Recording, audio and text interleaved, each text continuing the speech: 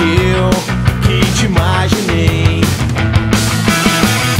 Aquilo tudo que falei, você bem que poderia entender. porque hoje sei que.